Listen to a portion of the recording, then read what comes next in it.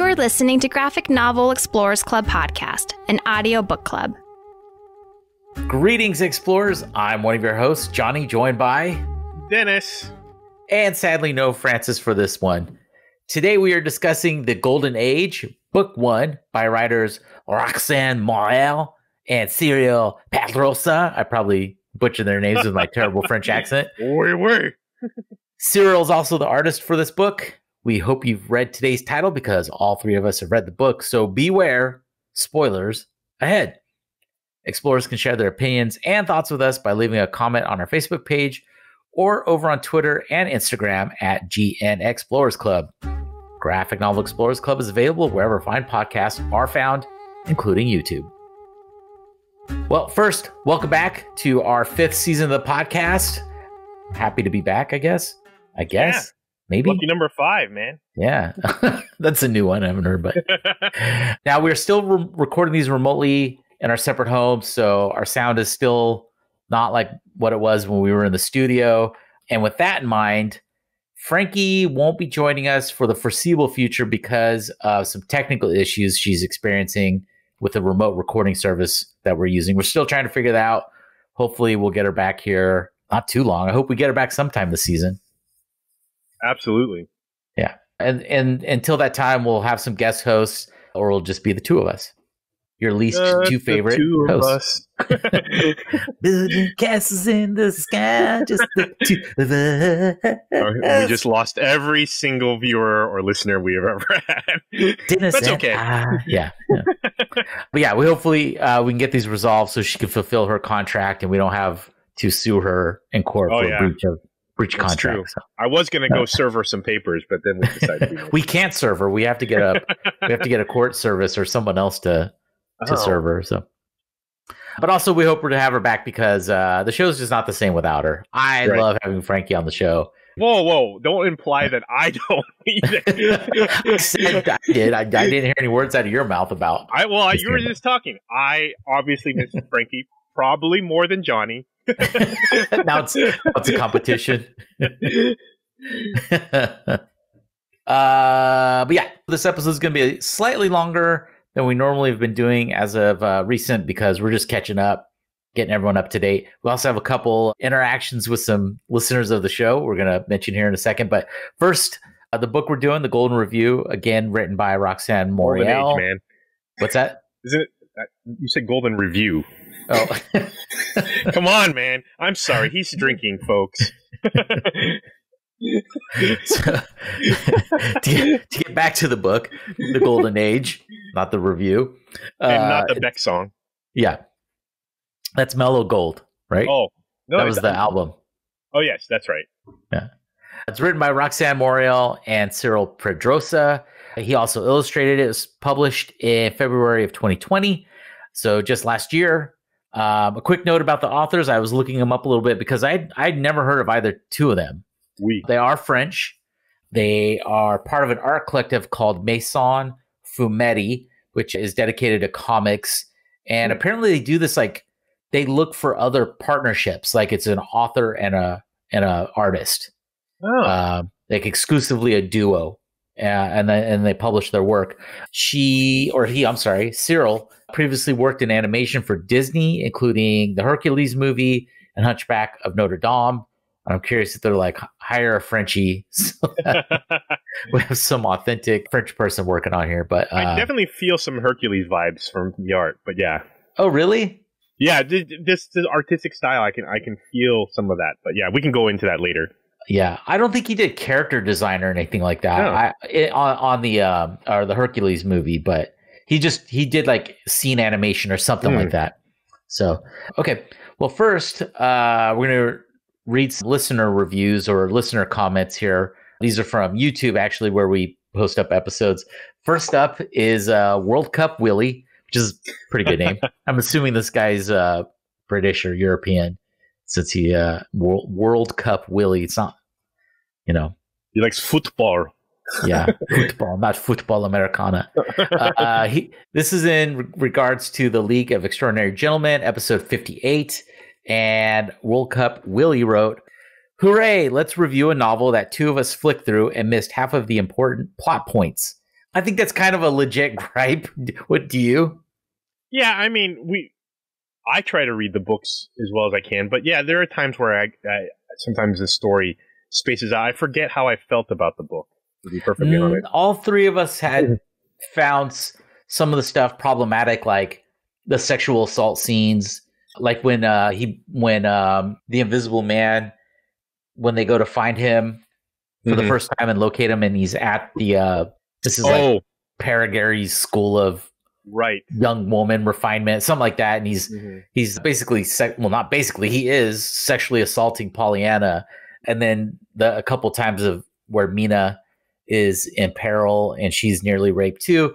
There were some other things that we have problems with too, like the portrayal of the Asian characters in the story, and oh um, right, and Frankie just didn't have any interest in the book because we've read stories where, in her defense, there's where, a lot of sexual assault.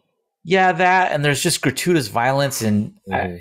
uh, and we've sort of become, I think, sensitive to it. Mm-hmm. Um, where we're just like, do we really need any more of this? And it'll it turned her off from finishing the story, so it just just kind of flipped through it. So I get where he's coming from. I get where World Cup Willie's coming from, but well, you know, and to be fair, I mean, we're we in no way say we're serious like comics journalists or anything like that. We're coming from the angle of more casual readers and you know someone uh, milling about a, a, comic shop and, and and flipping through to find something interesting. And so I see where he's coming from. I mean, it's obviously a beloved series, as is many of our books that we've reviewed and not necessarily have liked. But I mean, you know, opinions are opinions. It's not fact. So, you know, we just didn't like it, but that doesn't invalidate anyone else enjoying the book at all. Yeah. Yeah. Mm-hmm. Uh, next up, same same comic book is Don Sergio Salazar, who wrote Victorian literature meets the modern Victorians and their winging. so I'm not sure. What? I'm assuming he meant whining. Victorian literature meets the modern Victorians and they're whining, maybe. I'm not sure why we're the modern Victorians. Because Victorians were shocked at violence. So yes, no, they yeah. they were quite violent. I don't know. I'm I'm assuming it might be this. Does he mean that we are initiating sweeping progress in regards to comic book industrial revolution, or that we're imposing long working hours for the people working in our warehouses? in the uh, Graphic Novel Explorers Club warehouse, or perhaps that we're aware that we abolished the rule that one need not own property to run for Graphic Novel Explorers Club's parliament. Because uh, before, uh, if you were in our parliament, you had to own land. We abolished that like a year or two ago. so per our orders, yeah. Which actually is somewhat part of the golden age. There yes. is a huge uh, part of this book is about the rights of the people, and uh, that's that's sort of the backdrop of the story taking place. I would say it's maybe like the secondary story is right. Yeah, yeah. no, for sure. I mean, it takes place in a fictional medieval land.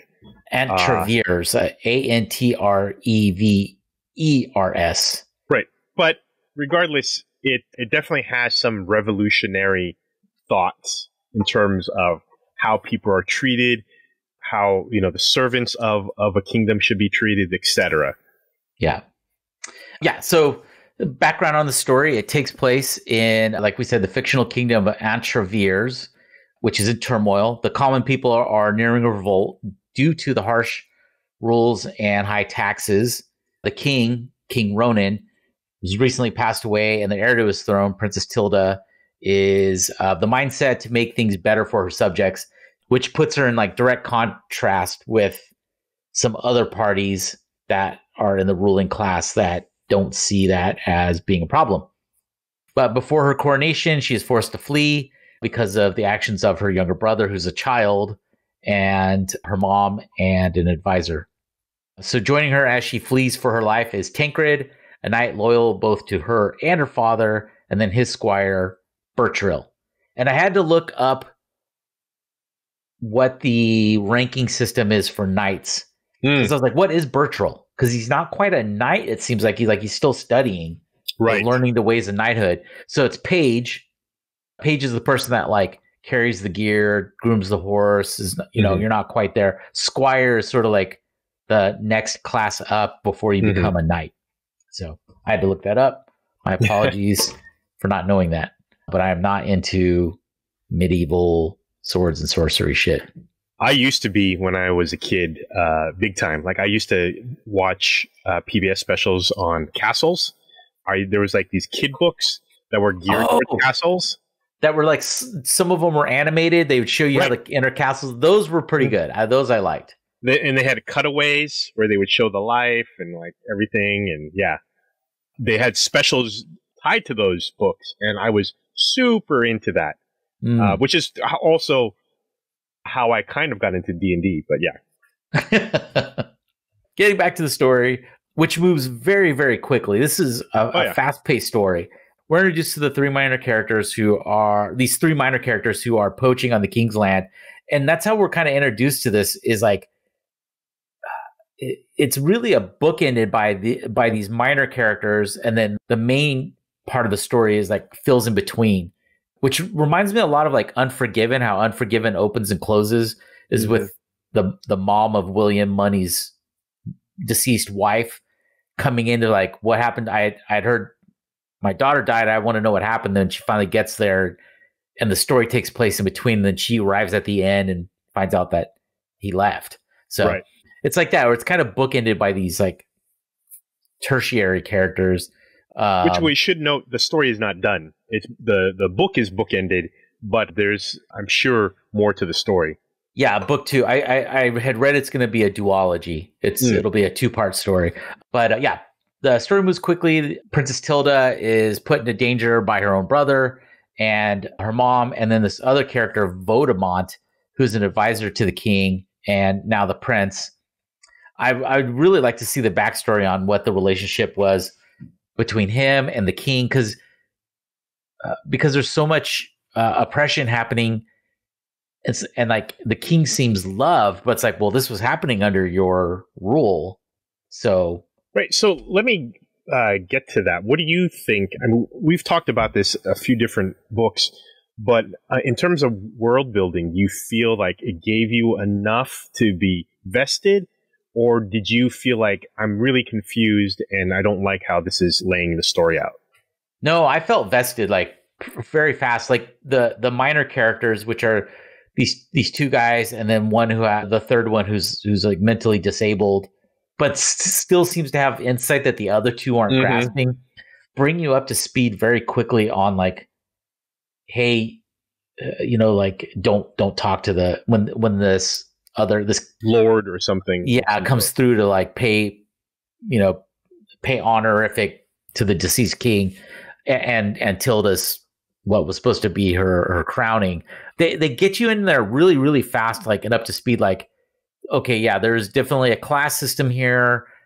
There's more going on than we're aware of. And and the great thing that they do in the illustrating is you'll be far away and up close but you get to see as as characters move around pushing the story they're physically pushing the story forward I, I would agree. I I loved the use of those guys as tools for exposition, and I felt like yeah, I I got just enough world building without being too heavy on text. And speaking to what you just mentioned, I thought that was really interesting. I've I normally only see that like maybe in a Spider-Man comic where they're trying to show him flip, so they'll show Yeah. different versions of him in in different poses as he's flipping, kind of slightly faded, and then through the panels through the panels, and then the final solid color version is him completing the move. But he's never really talking during that. It's just to show the motion. And it was interesting, and they've used it a few times through there. And I actually was initially slightly confused, but then I totally bought into it. The use of that, where as they're talking, you're following their trail of conversation and their path physically through with multiple versions of them. And it's not through multiple panels, it's one like large panel where with different little walking versions down of a them. road Yeah, or exactly. through through a town And I like it. yeah as they move through the forest they'll they'll go into some water and then come out of it and walk out the other side while they're on horseback Yeah, it's really it was done really well. I had no problems following what was going on as they moved, which I'm curious. I would love to know like how many test drawings the the artist had to do to like figure that out. It is fascinating, like when you're a comic artist and or the author, and, and you're trying to both work in a collaborative environment to to convey the words in a proper manner. Like, how do you break free of norms, right? The the Yeah. so many panels or whatever, and just just go with this kind of the, some of the the artistic directions they they made in this. Which I, by the way, I'll just spoilers. I love the art. I wasn't sure how they chose it, but it worked for me in terms of like the weird use of like negative colors. And what not all of it mm-hmm. was a negative. I mean like when you see a photo negative where faces aren't the natural color, they're like this dark blue to black, and and everything else outlining them is white. I'm not sure exactly where they made those choices, and it must have been super difficult not to go with whatever the norm is. But whatever it was, it paid off. Yeah, no, the art in this is amazing. I, I absolutely love it. it. It somewhat reminds me of like a block print. Like I thought maybe I thought the same thing. I thought it was maybe like a multicolored block print that they had done. I was like, that must have been labor intensive, but I, I, I I doubt that is probably done through an illustrating program, but it's done wonderfully. It, it calls back to like some of the Disney animations, like the 101 Dalmatians, like some of the character designs, because they're very I don't want to say harsh, but like characters' jaws will be like completely sunken in to show Mhm. like how stiff they are. I don't know. You get you get a sense of the character's personality through the way they're illustrated. Um, For sure. I don't know when they draw someone who's overweight. it- It's I, I just like the way it's done, like big fat gut with tiny little spindly legs, or uh, really big noses, like Right. character caricature noses. It's done really well, Yeah, really col- really well. the colors, the like you said, the the fact that it looks like a block print, it's just amazing. And, it's not your conventional palette either. It's just it's this weird. I don't yeah, know. things. It's almost like contrast. Like those, a lot of the stuff shouldn't work together. Like the colors shouldn't work together, but they do. Right. Like in some in some cases, the background is that negative tone I, I mentioned, whereas the person is actually the natural colors they would be, and it's just it's fascinating and like I I would be curious to have a conversation with uh, both of them to figure out how they decided to agree upon the artistic direction for the book because it really does work very well.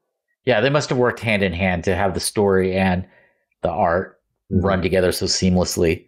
It's not like he's a contract artist who was hired, like, hey, come in and do this for us. Um, right and, and it's still you know i'm sure there is a conversation that happens but you know especially some of the design choices you know, I, I feel like they definitely must have collaborated on that So most of the story takes place with Tilda on the run. She's severely injured while they're getting away, and then they wind up finding a hidden community that's run by women, and they they work together. It's a it's a commune. They work together and they make decisions as a group. And men are usually not welcome there.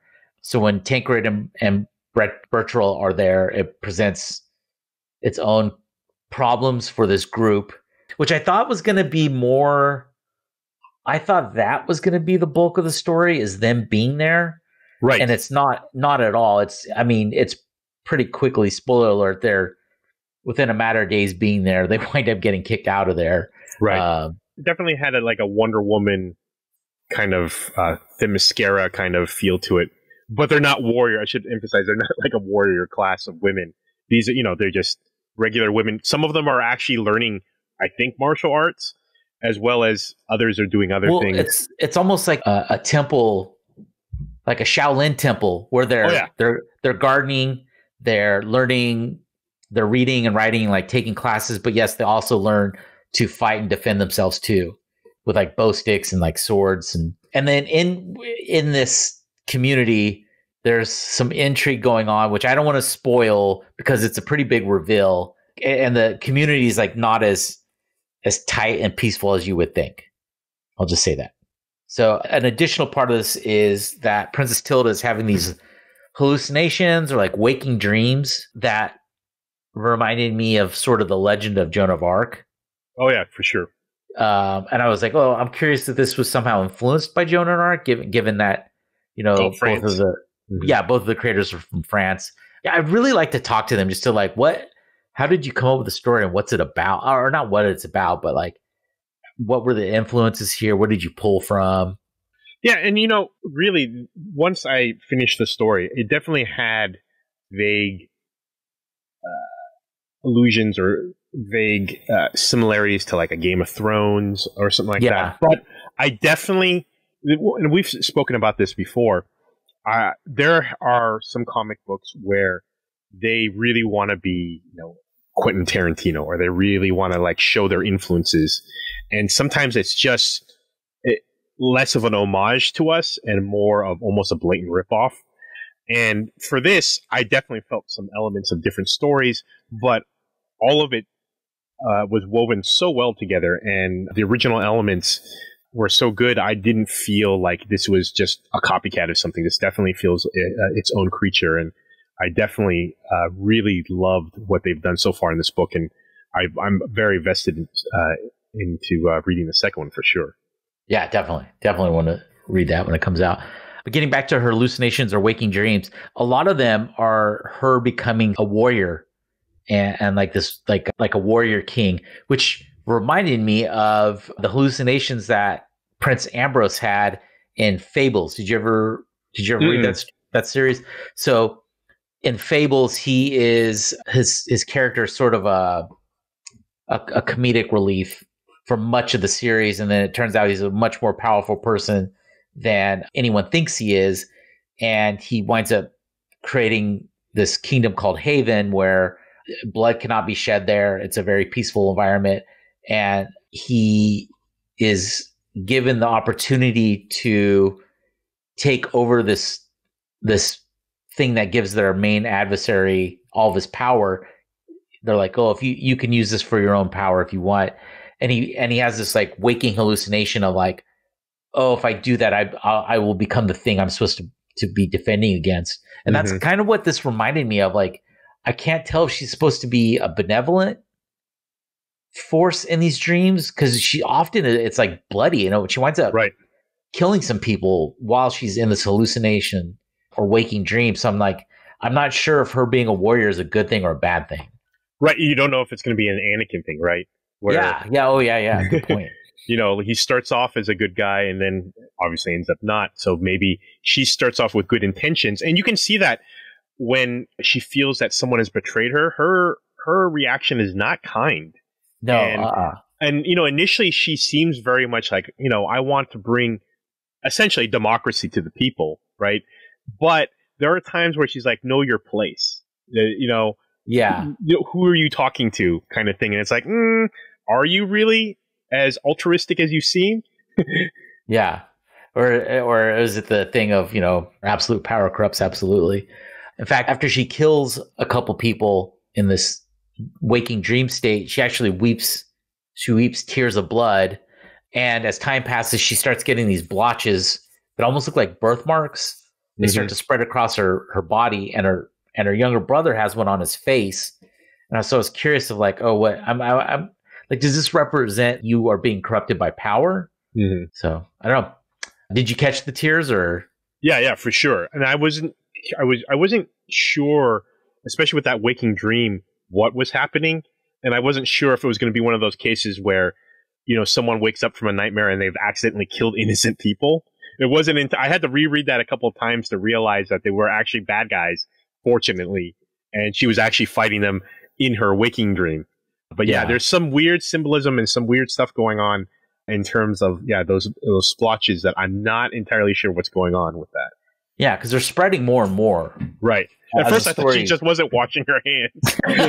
I was like, man, you've been going a long time with that blood on your hands. it's a dirty ass princess. so from there, they're forced to flee because eh, they're not, some of those warriors weren't just warriors. One of them was seeing one of the women that lives in the commune, secretly seeing each other. So it, it seemed clear that they had basically tortured him to figure out the information. Later, he was seeing one of the women there though for a while. Right, right. But it seemed Yeah. like later he they found him, they tortured him, and that's how they were able to come up, across this place. Yeah. After they're after they flee, they they move to another part of this kingdom where they have a sympathetic like lord who rules over part of the land, and that's when we really see that this kingdom is falling apart. Like the common folk have now, we find out, have killed several lords or like leaders in this in the southern part of the community where they thought they would be safe, and she's almost as, as much a danger from these common folks who have taken up, who are now revolting, as she would be if, as she is from the this um, her her her mom and the and the uh, brother. Right. So this is where we get into like almost a moral gray area because you know, obviously coming from uh, a modern democracy, we're like, yeah, you know, uprise against your uh, oppressors, but they're kind of a mindless mob. At least they're portrayed that way, and they're coming against this old lord who, you know, he's blind. He's actually he cares about the people who serve him, and he's he's asked them to leave so that they don't get in danger. But then again, he's also part of the establishment, so I, I can see where the common folk are coming from regarding yeah. this. So it's kind of conflicting. It's like they want to the uh, the main characters want to bring some more enlightenment to uh, the kingdom, but at the same time, those who they would hopefully ally themselves with are kind of being violent. Yeah, yeah, yeah. Well, I mean, really, it's like, are those people even approachable for her? Mm-hmm. I'm sure we'll find out in the second book more of this, but can she even approach them to say, "Look, I'm on your side. If you if you help me retake my kingdom, I will, you know, grant you the the freedoms that you want and and allow you to make more decisions." Or if they're just like, "Nope, off with their head." Yeah, in some ways, I mean, it's not the same thing, but in some ways, uh, it's what I really liked about Rogue One Star Wars that they showed parts of the Rebel Alliance that weren't necessarily goody two shoes. You know, they yeah. were assassins, they were spies, and they had to do some awful stuff to some people who weren't 100% innocent, but weren't also, you know, the main bad guy. And yeah. so, you know, during these revolutionary times, sometimes not everything is clean cut where these are the good guys and these are the bad guys. There's some very moral gray areas that are crossed uh, and that have to be crossed in order for that revolution to happen. Yeah, and to continue. Mm-hmm. So. And finally, Tilda starts to learn more and more about this magic box that her father left clues for her to find and recover, which I think maybe tie into the discoloring she's getting on her on her body. But but when she finds it, her mother is there with her younger brother, and we come to find out that the mom kind of put all this in motion so that Tilda would discover the box. Right. And then um, the fact that she chose her brother to basically become king. At first, the mother played innocent and said, you know, it's out of my hands, but it, it, it, it it's clear that the mother is the chief uh, puppeteer behind all this and that the brother is easily manipulated, while as the, the daughter, Tilda, is not. And because of that, the mother realized that she had to choose the son to become king in order for her to be able to be the puppeteer.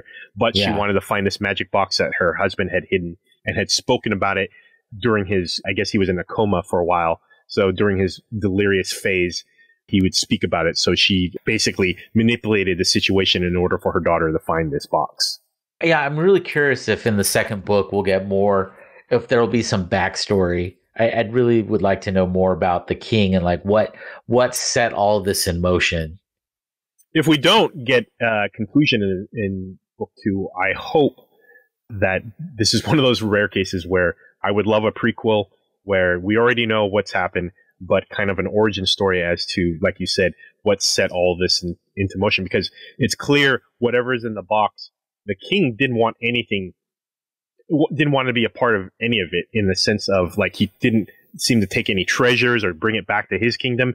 He basically sealed it off and made it a hidden area so that no one else would would uh, obtain this box and whatever power it holds. Except to his daughter. Like I got the impression like that was, you know, or like to protect it. Like it's not made yeah. clear. So it may be she he just wanted her to be aware of it so that she knew how dangerous it was, so that she would go on protecting it, assuming that she was going to be the heir who was going to rule. So as the the ruler, you would need to know that this is an important place and you need to protect it at all costs. So not necessarily yeah. utilize the device, but know that it's dangerous. It. yeah, exactly. Yeah. Interesting. So, okay. Well, overall, I, I probably don't need to ask this, but what do you think of the book? Amazing, amazing uh, story, amazing artwork. Like I, I can't emphasize again how symbiotic the artwork and, and writing are in order to make this a book, uh, this book successful. I love the characters. I love the character designs. Even though it does have kind of that Disney esque look to it, it's definitely gory, but not over the top gory. There is blood, there's killing. It, it's I felt a good balance, and I, I, I feel very interested in the story. Once again, there isn't a whole lot of exposition. What they give you is enough to kind of get you wrapped around and invested in the story itself. So yeah, i am de- definitely recommending it, and definitely uh, get it book two if you have a chance to. Yeah, I can't say any better than that, Dennis. That was uh yeah, it's a, it's an amazing book. One oh one thing I forgot to to bring up was uh Princess Tilda, yeah, will definitely check people and like say know your place, but then she also seems to have a budding romance with uh Bertrell, the the young squire. At one point, she's like, you know, just needs to be consoled and he like they lie in bed together, not sexually, but just right, he, you know, kind of spooning so that she can get some comfort, you know, just like another person there for her. So I'd be curious to see how that relationship works out in the second book too. But right. Well, I think that's it. Thanks for joining us for the first episode of our fifth season. Really happy to be back again. Hopefully, Frankie can join us. Also, we would like to dedicate this season to our our pets that passed away. Dennis's dog, Spooky, coolest little dog ever, Spooky, passed away last year. And then my cat, our, our older dog, Chester and Franny, passed away. So pour some kibble out for our pups. uh, if you have pets, hold them tight. They're, they're never here long enough. We really miss our mutts and our cat. So yes, definitely. dedicate the season to Spooky, Franny, and Chester. So uh, thanks for listening. If people want to follow us, uh, where do they do that, Dennis? Uh, on Twitter and Instagram at GN Explorers Club. Cool. Thank you very much, and we'll be back again with a new episode. Later. Ugh, stretch it out. Stretch. Okay. Hi, I'm a complete asshole.